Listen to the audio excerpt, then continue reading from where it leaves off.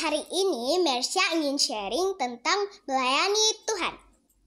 Melayani adalah perintah Tuhan dan jika kita mengasihi Tuhan berarti harus melakukan perintah Tuhan. Dan salah satunya adalah melayani.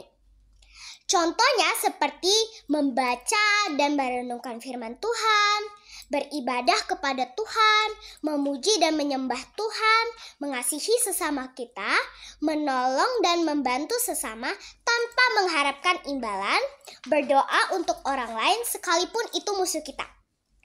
Mari, jangan ragu untuk mengasihi Tuhan dan melayani Tuhan ya, teman-teman.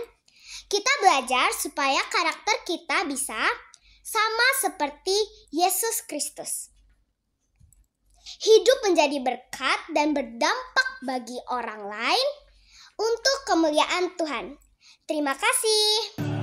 Ini video saat